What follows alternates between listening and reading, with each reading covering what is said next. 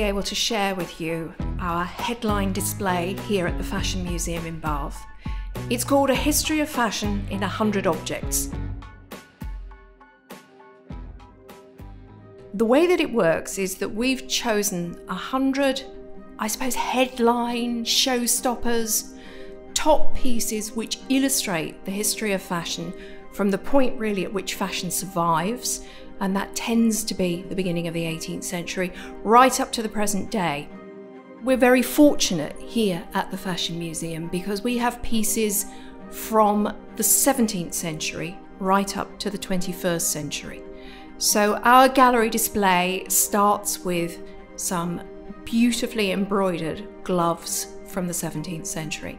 And we go right up to date with our current selection for the year in fashion.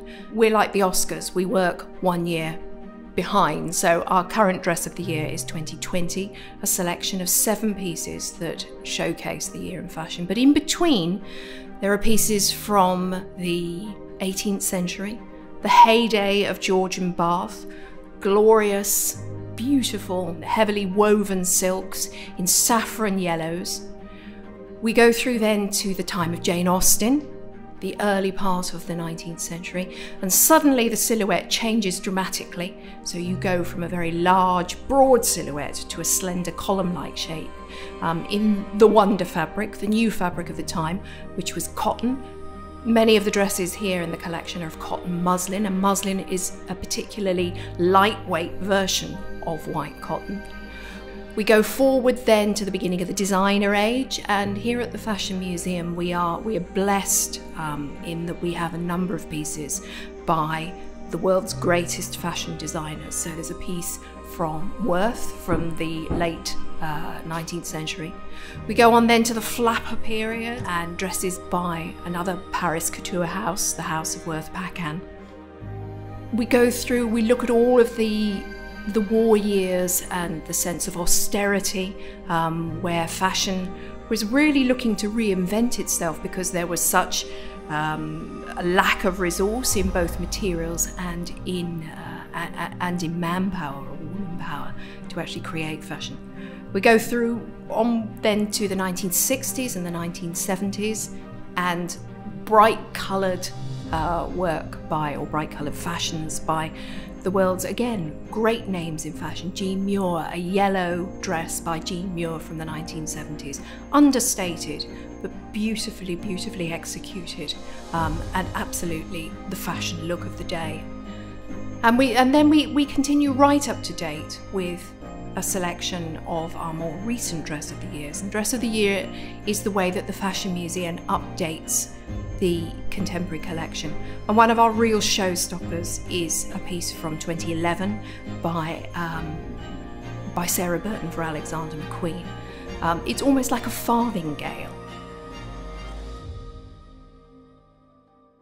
We're really pleased that actually object number one in a history of fashion in 100 objects is a man's shirt a man's shirt, a linen shirt, great big long, long shirt, um, beautifully embroidered in a style of embroidery called blackwork embroidery um, around the, the neck and the cuffs in, in designs of flowers and bees.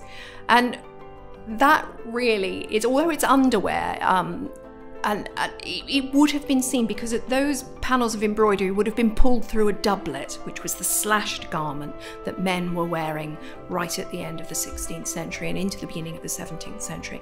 And menswear Menswear is absolutely fascinating because you have these different types of garments that punctuate the history of menswear. And I think one of the biggest, I guess, changes in menswear was right at the beginning of the 19th century, the transition from breeches, and breeches are just kind of come down to the knee, to this amazing newfangled garment, the trousers, which went all the way down the leg.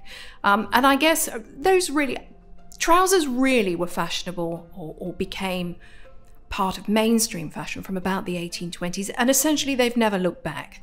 And then there's a whole other story about women in trousers, um, which is so, so fascinating, um, which, which runs through the 20th century as well. But yes, menswear, absolutely part of what we are presenting here in a history of fashion in 100 objects at the Fashion Museum in Bath.